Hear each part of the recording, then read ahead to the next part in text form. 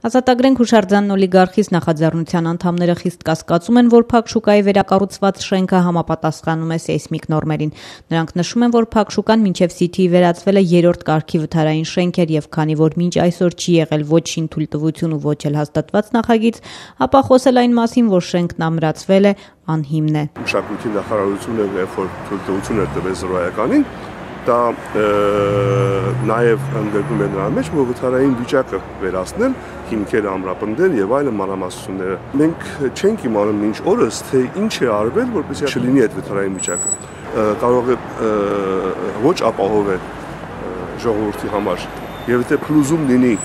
ինչպես որ ասված չանի, ինչպես որ եղավ Ռիգայում, ով է պատասխան տալու այն ժամանակ։ Այսօր նախաձեռնության անդամներն այս մտահոգությամբ փոստով պաշտոնական ու անվանական նամակներ ուղարկեցին արտակարգ իրավիճակների նախարար Արմեն Երիցյանին ու քաղաքապետ Տարոն Մարգարյանին։ Հետաքրքիր է, որ օրեր առաջ նույնատիպ, սակայն բաց նամակով նախաձեռնությունն արդեն դիմել էր նույն պաշտոնյաներին, սակայն պատասխան մինչ օրս չի ստացվել։ Լրությունը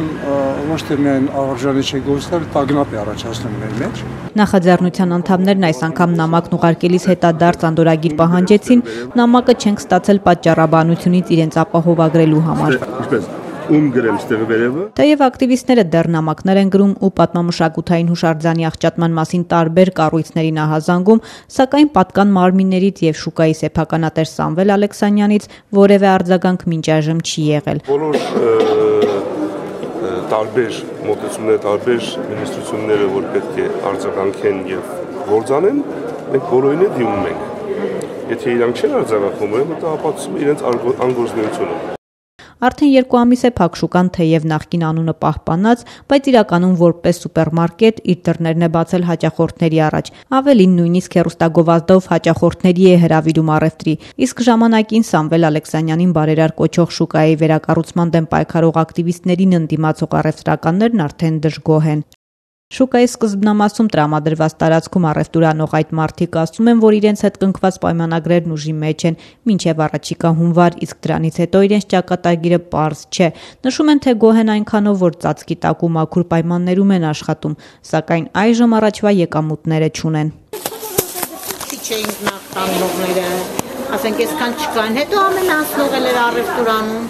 Իսկ հիմա արդեն տեսականի է շատը, իրանք էլ են վաճառում։ Նախաձեռնության անդամները չեն հուսահատվում, նշում են թեև ակցիաների թիվը պակասեցրել են, սակայն դա ոչ թե զենքերը վայր դնելու, այլ պայքարի նոր ռազմավարության արդյունք է։ Նախ բնակչությանը տեղեկացրին ապօրինության մասին, հիմա էլ պատրաստվում են դիմել դատարան։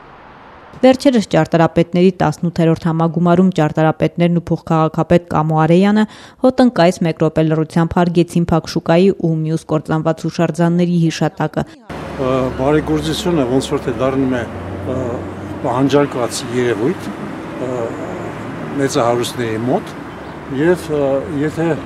բարեկորզներից մի մասը իրենց հաշվին անվճար եկեղեցներ են կառուցում, ասենք թե մեծ գումարներ հատկացնում, դրան պարագայում այս շուկայի դեպքում տիրոջից պետք է սпасել բարեգործություն եւս։ Եվ եւ ես վերջերս կարծեմ, որ նա այդպես մի քայլ արեց ցուցանողների հետ կապված, Եվ ես կարծում իր հաջորդ շատ շքեղ շրնդալից քայլը կլինի նա, որ այս ամեն ինչին ինքը իր նախաձեռնությամբ վերջ տրի